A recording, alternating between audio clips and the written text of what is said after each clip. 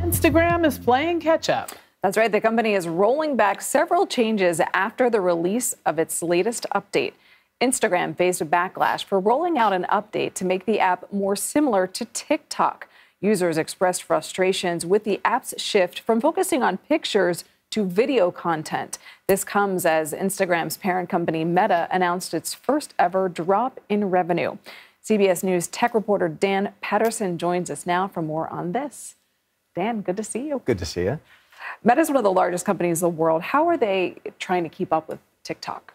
Well, for years, we've been accustomed to algorithmically sorted content, right? So you follow or you friend somebody or an account, and you don't see updates in real time. You can, that's a setting, but often you see the content from those accounts you followed or friended in an order that Facebook or other social networks think is most engaging. But again, this is content that you have opted into, that you've friended or followed. Now they are mimicking a feature of TikTok, which is algorithmic, algorithmically organized or sorted content. This is stuff that comes from elsewhere that the algorithm thinks you might like, it might fit your interests, but you have not opted into. This is a pretty big change for these networks that, if you'll recall, kind of based their entire social graph on your friends, your family, and people that you care about. So that's why I've been getting a lot on travel, a lot on food, a lot on things that, you know, I hadn't like, you know, hashtag in the past. So after the changes to the app were announced, the head of Instagram backtracked on the updates, but then Mark Zuckerberg said they would stay in some form. Uh, why is there so much dysfunction with Instagram? Well, we see that Facebook and Instagram, the apps Facebook and Instagram, are being used kind of as tools now to fend off this competition. For years, these were kind of pure play apps. We saw Facebook, the blue app they call it, as a social network where you follow your friends and family, your interests. Uh, Instagram was a pure play photo app. For a long time, it was pictures, cool stuff that you might want to follow, influencers, dogs. Uh, I like dogs. Uh, so you would see a lot of stuff that you were interested in, but once again, pictures or friends and family posts.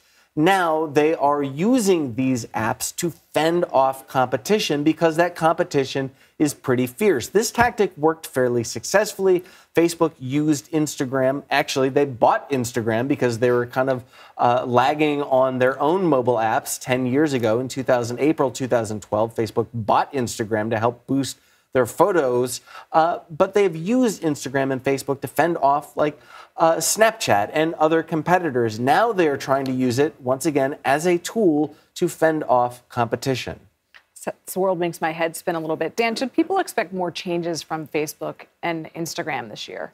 Yeah, we should expect those changes to kind of follow that pattern. Sadly, these are no longer pure play applications. These are designed to be businesses, right? They are designed for revenue. And when revenue is at stake, look, we're seeing tech and all other companies kind of tighten their belts, and Facebook is no exception. They need to generate revenue, which means they need more ads, which means they need to fend off competition, which means they need to algorithmically sort content to make sure that you stay on the site viewing and tapping on those ads. Let's look at it. Let's face it, it's a marketplace now. I That's mean, right. you can buy clothes, you can buy products, you can buy appliances. I mean, everything's on Instagram these days.